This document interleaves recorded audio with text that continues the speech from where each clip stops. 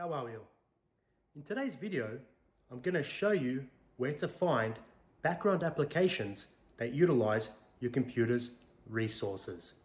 These background applications shouldn't be switched on, thus shouldn't be using your computer's resources, which might end up making your computer run slower and not perform to the best of its abilities.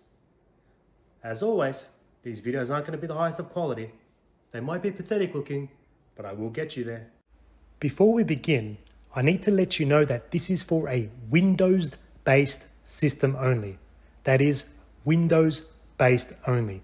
If you are operating on a Mac OS, this video is not for you. The first thing I'll get you to do is click on the Start button located at the lower left of the screen using your mouse with the left click.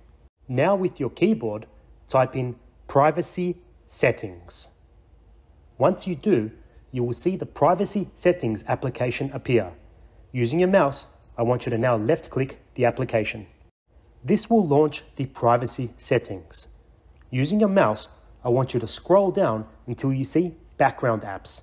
And then using your mouse again, left click the background apps. This will bring up a list of all the apps that utilizes the computer resources in the background, which means they don't need to be doing so.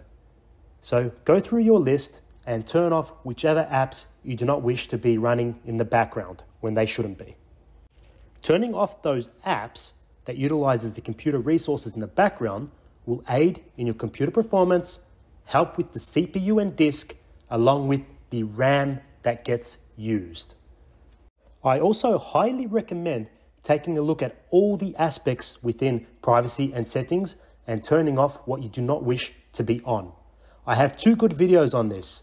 The first being is Windows listening to you. The second being is Windows tracking you. Check them out.